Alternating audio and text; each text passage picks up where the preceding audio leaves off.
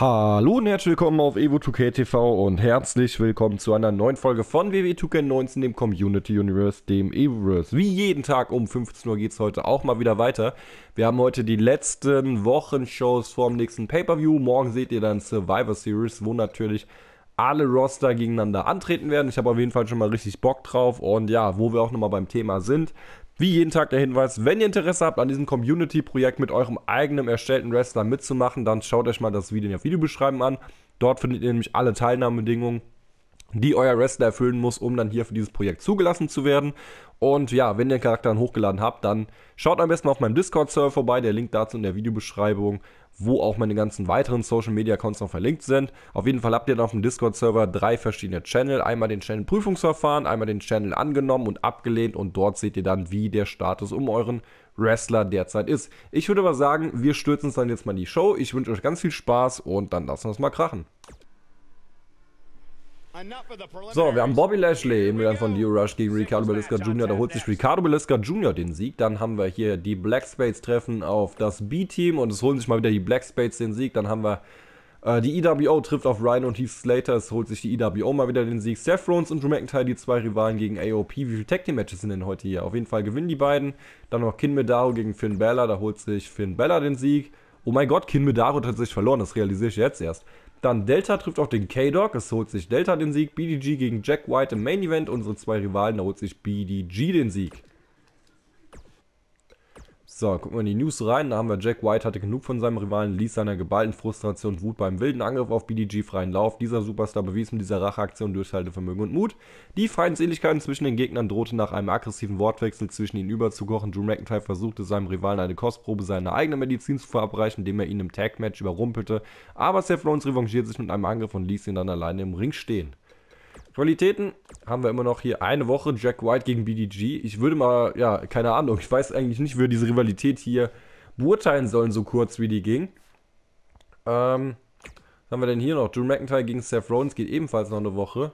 Müssen wir mal schauen. Vielleicht hängen wir dann nochmal irgendwie selbst was dran hier bei BDG gegen Jack White, weil das ist einfach echt viel zu wenig. BDG auf jeden Fall an Jack White vorbei. Bobby Lashley, Brock Lesnar sind abgestürzt. Drew Mc... Was? Warum? Lächerlich, ich bin letzter. Da gewinne ich die Matches und bei mir passiert gar nichts. Ich bin auf dem letzten Platz angekommen. So, Bobby Roode und Chad Gale sind tatsächlich an AOP und Heath Slater und Rhino vorbei. Das ist auch mal auf jeden Fall eine interessante Sache. Dann gehen wir aber jetzt mal zu SmackDown und gucken, was wir heute beim blauen Brand so an Matches zu sehen bekommen. SmackDown Live geht los mit Randy Orton gegen den Death Psycho, da holt sich Death Psycho den Sieg. Dann haben wir R-Truth gegen Simone Omega, da holt sich Simone Omega den Sieg. Michael Adams trifft auf David Cole, da holt sich Michael Adams den Sieg. Und ein Triple Threat Match zwischen Jordan Peugeot, Stormy und dem Urban Gladiator. Ich würde sagen, das gucken wir uns heute mal an. Da sind eine Menge Abonnenten dabei. Schwung schnell, Einzug ein, los geht's. So. Dann schauen wir mal, was wir heute für ein Match zu sehen bekommen, was wir erwarten können. Ich bin auf jeden Fall gespannt. Vor allem sind es, glaube ich, immer drei Leute, die wir selten sehen. Warum lädt das eigentlich so lange gerade?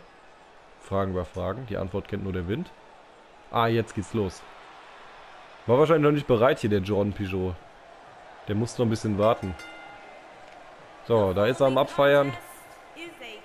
In bester No Way Jose Manier. No Way Jose. Jordan Peugeot. Jordan Peugeot. Jordan Peugeot. Jordan Peugeot. Ich singe jetzt nur, weil er hat das Lied von No Way Jose. Um das Ganze mal ein bisschen zu verbessern hier. So. Er ist gut drauf. Und äh, schauen wir mal, wie er das in seinem Match, den haben wir lange nicht mehr gesehen, Jordan Peugeot, glaube ich, wie er das in seinem Match umsetzen kann. Mit welcher Leistung. Lässt er sich schon mal feiern. Dann würde ich sagen, warten wir mal auf den Gegner von ihm oder einen der Gegner. Und da kommt jemand mit dem Titan von Finn Balor der Musik von Alistair Black, wie es so gefühlt jeder zweite bis dritte hat. In äh, 2K19. Ist schon kommen. In 2K20 hat bestimmt jeder von euch Tomato Jumper. No one will survive.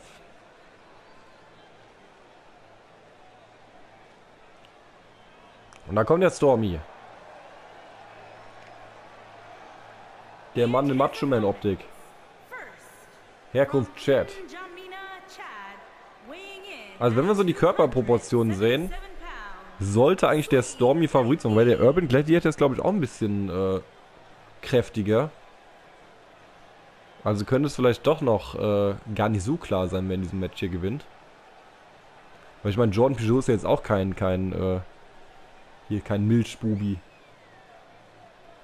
Sieht auch schon ein bisschen stärker aus. So, Stormy auf jeden Fall fast da. Gucken wir uns von der Entrance komplett an.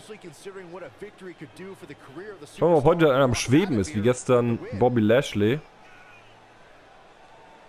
Der ja irgendwie so gefühlt, keine Ahnung, wie hoch wird das sein? Ein Meter? Wo er den Meter in der Luft geschwebt ist. Ach, der hat hier was von Sanity als Einzug. Ey, diese Haare, das können auch so Pumuckel sein. Wenn er die rot hätte. Und dann ein gelbes Shirt und eine grüne Hose. Das wäre doch mal was, oder? Jetzt habe ich schon eine Idee, was ich mir hier erstelle.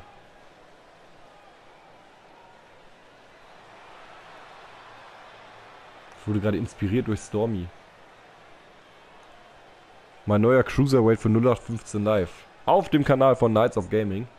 Wenn ihr dort mitmachen wollt, 0815 Live quasi mein Partnerprojekt auf Knights of Gaming, da ich nämlich keinen Cruiserweight-Verse machen kann, gibt es das auf Knights of Gaming, was der gute alte Hergi quasi managt.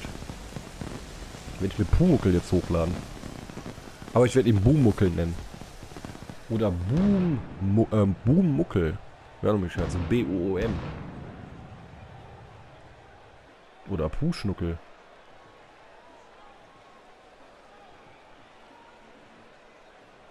So, da kommt der Urban Gladiator, der Mann mit dem Ritterhelm. From Dresden, Germany. From Dresden, Germany.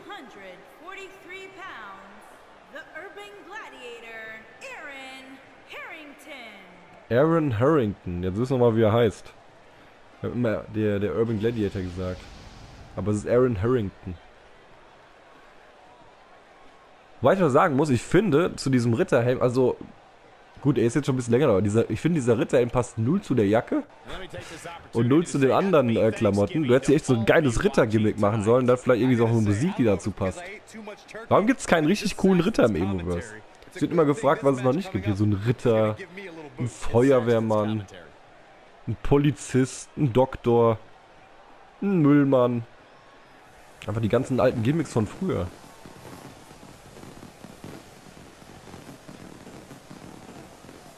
Einen Clown haben wir ja. Vielleicht einen Zirkusdirektor. Wäre denn noch möglich? Ein Influencer.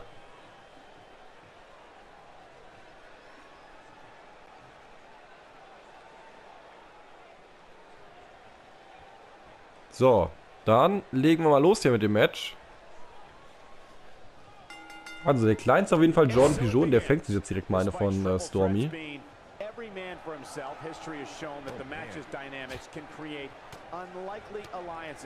Oh, der arme Jordan, der wird hier umgehauen.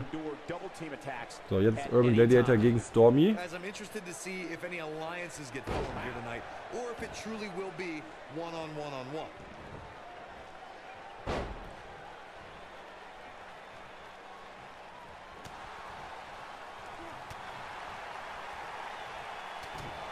Jetzt ein Headbutt.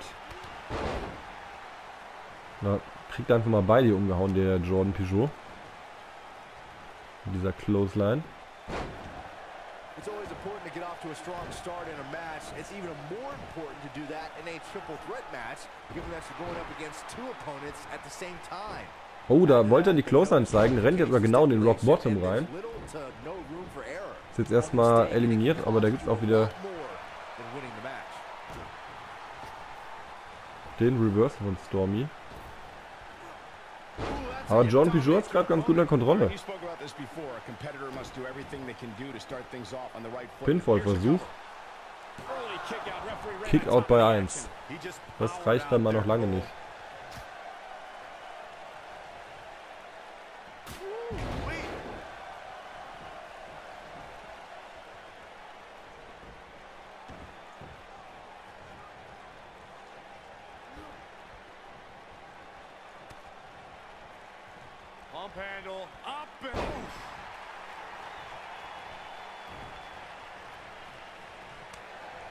Ach, da soll die Backpfeife kommen. Jetzt geht's erstmal raus für Urban Gladiator.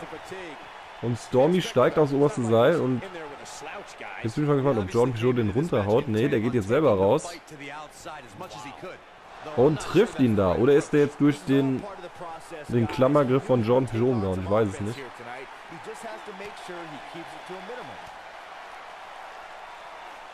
Backbreaker flawlessly executed. He's making a statement here with this attack. So, jetzt einmal gegen den Ringpfosten. Auszählen gibt es ja logischerweise nicht bei Triple Threat. Jetzt Jordan Peugeot mit dem Neckbreaker gegen den Urban Gladiator.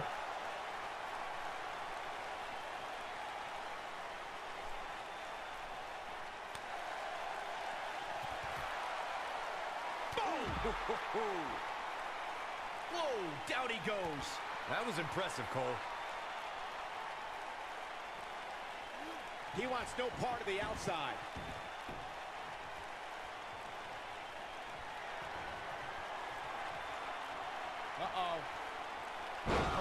Dann gibt's hier... Ne, das ist noch nicht das Matchende. Ich wollte fragen, ob das schon das Matchende ist, aber da ist der Jordan wieder da. Der rennt mit seiner Closer in Arm Urban Gladiator vorbei. Stattdessen darf er jetzt mal in die Ringecke oben links. Und das ging schief.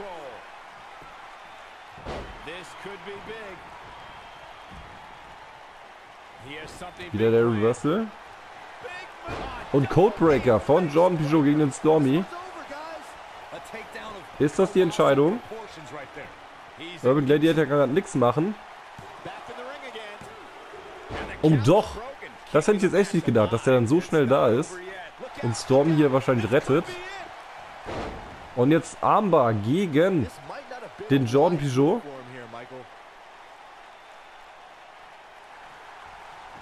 Keine Aufgabe.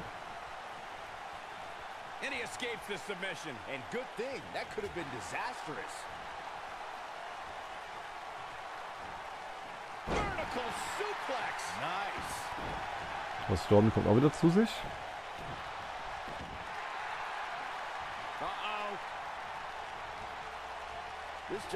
Man will unterbrechen, aber irgendwie haut es nicht hin. Closer geht schief. Ziemliches Hin und Her in dem Match. Oh, Rock Bottom geht schief. Reversal von Jordan Peugeot.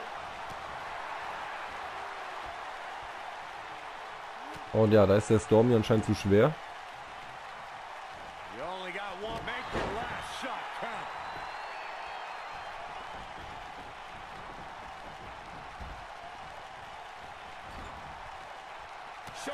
Wieder Reversal vom Gladiator. Pinfall. Das war Rope Break. Ja, und jetzt rollen sich... Ne, rollt sich auch der Stormy so halbwegs raus.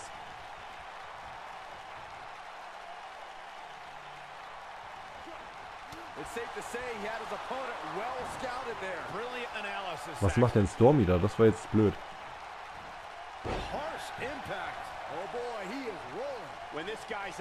Der, der Reversal.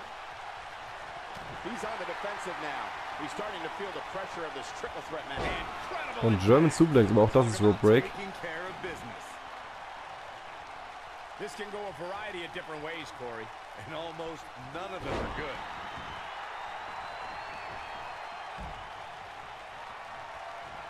Ooh, what impact.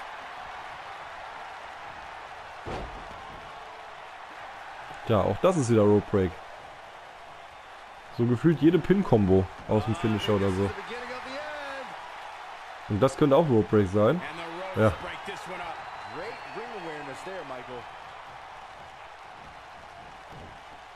So, Simone Drop.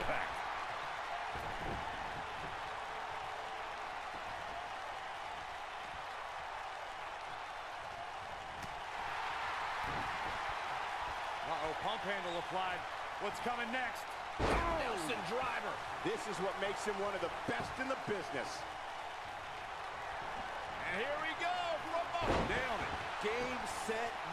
So, jetzt schauen wir mal, was, was geht der mit Jordan Peugeot ab? Der verpasst im Ringrichter eine Clothesline. Und Attitude Adjustment. Und noch einer gegen den Stormy. Jetzt hat der Ringrichter Zeit, sich zu regenerieren. Und jetzt noch der Finisher kommen. Oh, der geht schief.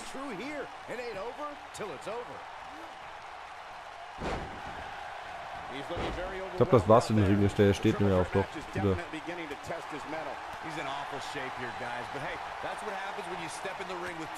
Platzwunde beim Urban Gladiator.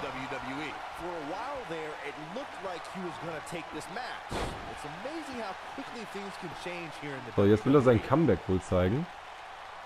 Schauen wir mal, ob es dazu kommt. Reversal wieder. Und Backbreaker. Und jetzt will Jordan Peugeot sein äh, Comeback zeigen. Und er nimmt sich dafür den Urban Gladiator.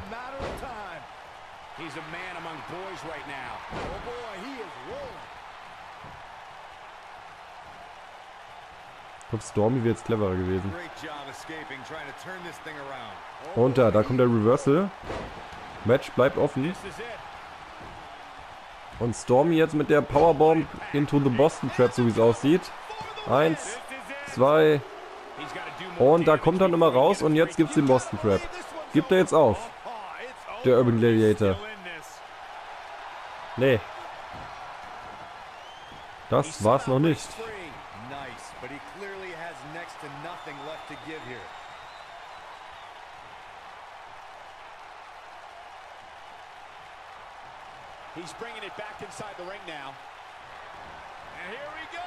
So, German Suplex Pin gegen den Stormy. Eins, zwei.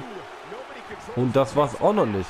Da wäre John Peugeot zu spät gekommen. Jetzt schnappt der sich hier mit dem Neckbreaker den Urban Gladiator. Aber da ist wieder der Reversal.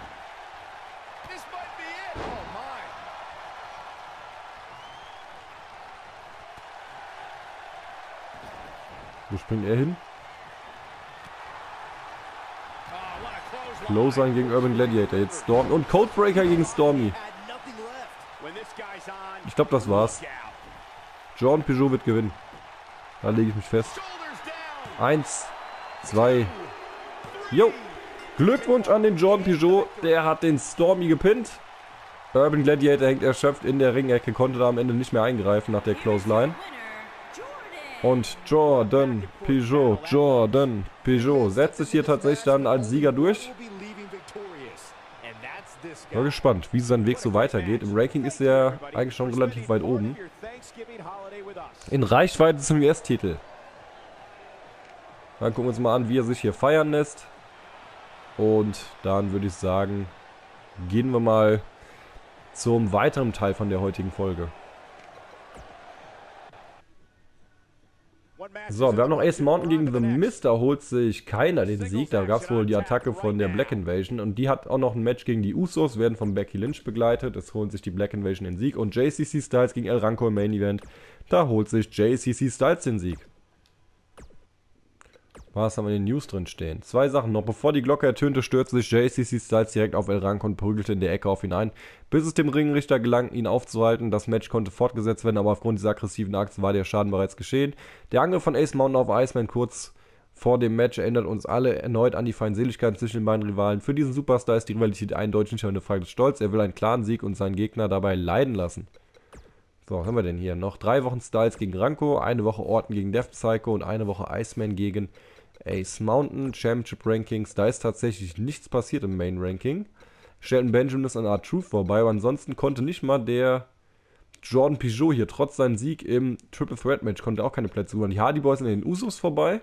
Tatsächlich passiert momentan ein bisschen was bei den Tag Team Rankings. Ich bin ja hellauf begeistert. Gehen wir mal zu WC der Nitro rüber. Wir legen los mit Prince gegen Glorious Nikki. Die zwei, die sich sehr ähnlich sehen. Da holt sich Prince den Sieg. Die Colons treffen auf äh, Ascension. Hier holt sich Ascension den Sieg. Bob trifft auf Sin Cara. Da holt sich Bob den Sieg. EC3 gegen den Demon Ace. Es holt sich mal wieder EC3 den Sieg. Douglas Ray gegen Big Magic, Kalisto und Shinsuke Nakamura. Es holt sich hier Big Magic den Sieg. Rey Mysterio gegen den Killer Gamer. Da holt sich Rey Mysterio den Sieg. Und im Main Event sehen wir Samoa Joe, X-Ray Junior Big Show. Und da holt sich Samoa Joe den Sieg. So, dann gehen wir mal wieder in die News. Auch da haben wir nichts, weil momentan gibt es halt keine Rivalitäten. Bei WCW will wohl keiner. So, hier die Rankings. Shinsuke Nakamura ist an Killer Game und Glorious Nikki vorbei. Ascension sind an Heavy Machinery vorbei und Prisango an den Colons. Latino World Order chillt ihre Base auf den letzten Platz. Dann werden wir hier fertig und gehen zu All Elite Wrestling rüber. Und wir springen direkt mal hier in das Auftaktmatch der heutigen Folge rein. Jacob Cass trifft heute auf den Jordan. Auch die beiden sind jetzt schon ein paar Tage nicht mehr gezeigt worden. Dann schauen wir mal, wer sich hier durchsetzen kann. Und mal wieder in der All Elite Wrestling Arena. Und der erste, der zum Ring kommt, ist der Jacob Cass mit Asuka. Wobei mir gerade einfällt, wenn ich hier Asuka sehe, den haben wir doch vor kurzem erst gesehen.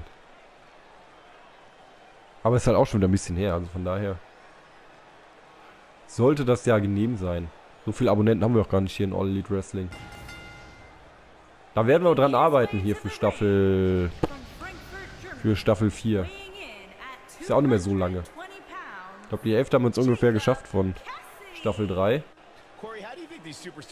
So, Jacob Cass angekommen. Begibt sich dann jetzt mal in den Ring, lässt sich erstmal feiern. Der Mann mit den Ninja-Schwertern.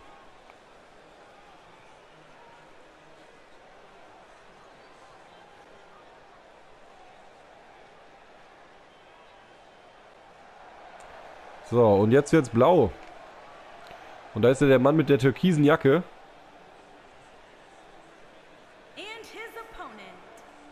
Und dem Lied von Sheldon Benjamin.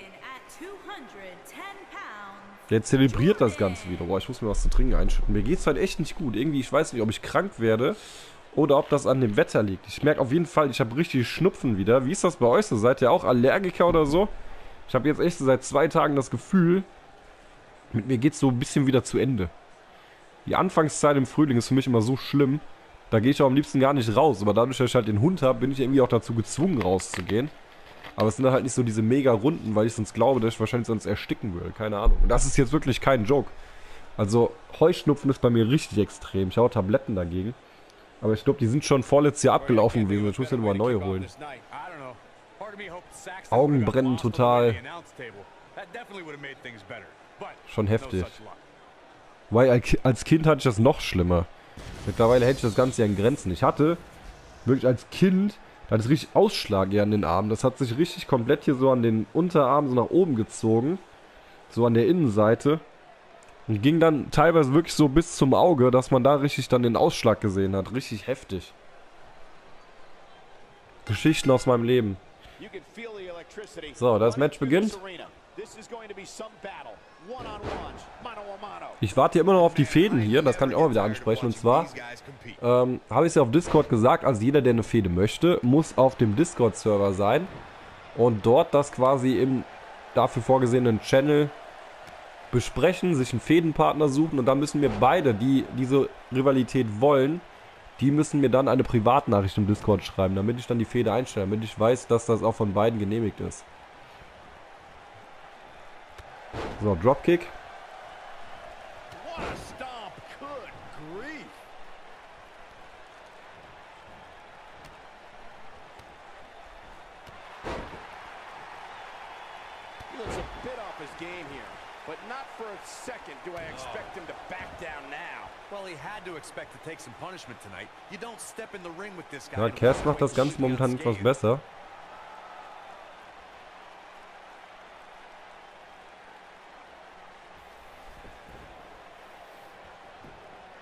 Pinfall-Versuch. Aber direkt der Kickout.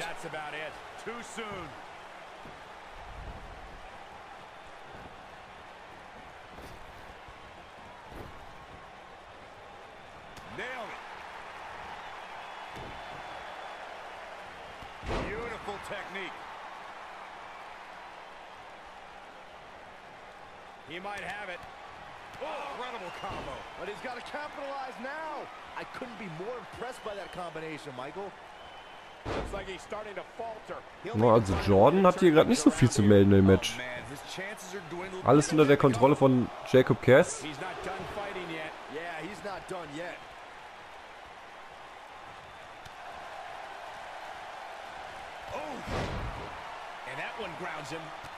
Oh, jetzt kommt er langsam mal zurück.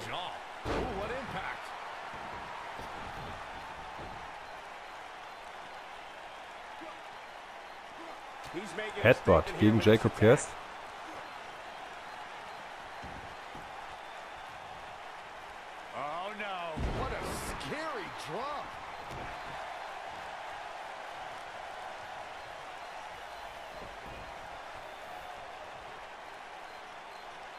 Was jetzt vor? Wo hat er denn schon seinen Finisher her? Der ganz gezeigt. Oh, da trifft er ihn ganz, ganz knapp. Das war sein Signature, das war gar nicht sein Finisher. Aber das könnte tatsächlich jetzt das Ende des Matches sein. Pinfall. Eins, zwei. Ja, da ist wahrscheinlich der Widerstand gewesen.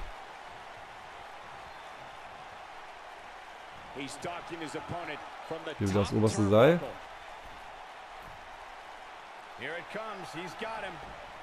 Ja, jetzt hat right where he is. Hier der Jordan so langsam die Kontrolle übernommen. Kommt er angesprungen, aber das geht schief.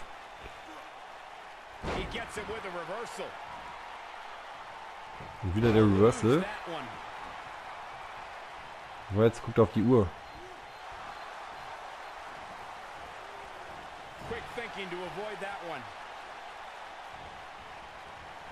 And it's reversed.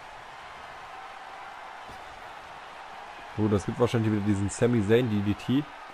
Mit dem Sprung durch die Seile. Can he finish the job?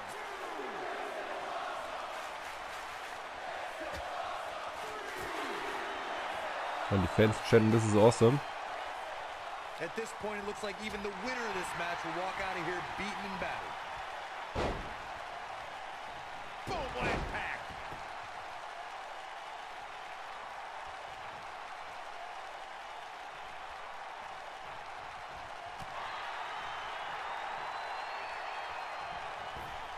Wo springt er denn hin? Alles klar. Back.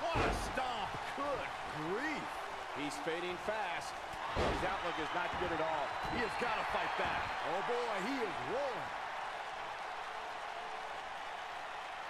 Harsh impact.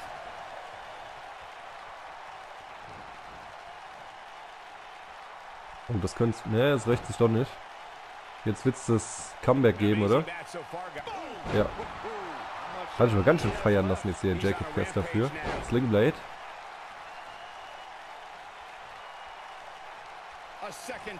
Und Reversal. Das bringt ihm natürlich jetzt ein paar Probleme oder ein paar Schwierigkeiten, den Jacob Cass. eventually going to have to gain the upper hand, right?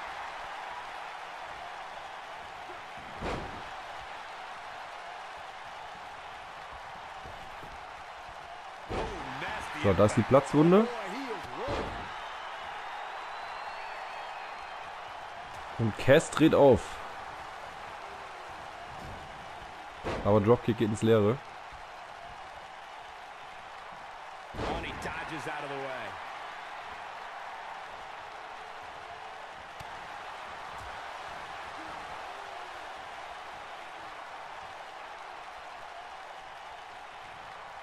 You gotta believe this one's over. He's So, jetzt soll der Finisher kommen von Cass. Bin mal gespannt, ob der jetzt durchgeht. Jo, da kommt der Falling Flatliner. Pinfall 1, 2, Kickout von Jordan, der echt schon richtig schwer mitgenommen aussieht.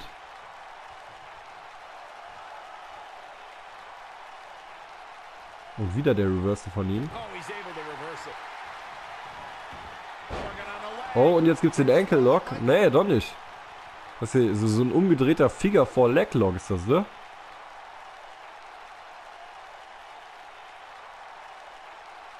For Das ist keine Aufgabe.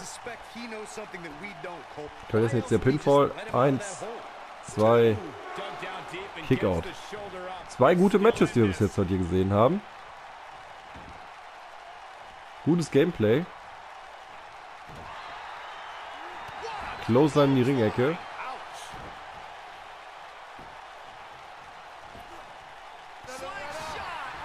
Da gibt's den Leg Drop auf das Seil. Und jetzt winkt er, dass er aufstehen soll. So, der. Bronco Buster geht schief und jetzt steigt Jordan auf das oberste Seil. Elbow Drop geht auch schief. This might be it. Oh my! Oh boy, he is rolling.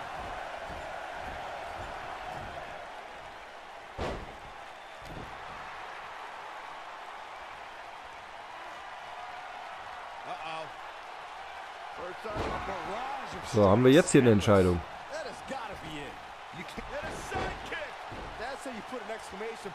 Könnte tatsächlich sein, dass das jetzt war.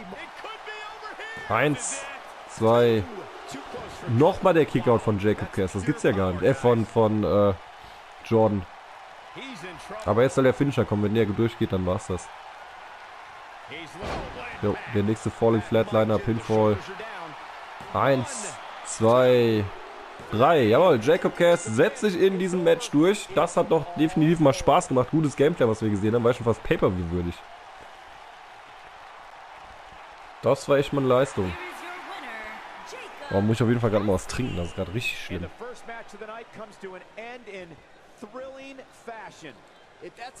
Na gut, dann gucken wir mal, welche Auswirkungen das hier im Ranking gleich auf sich hat. Aber vorher gucken wir uns natürlich noch an, was wir sonst noch für Matches haben, weil das war ja quasi heute der Opener von All Elite Wrestling. Und dann schauen wir mal, was hier heute sonst noch so passiert.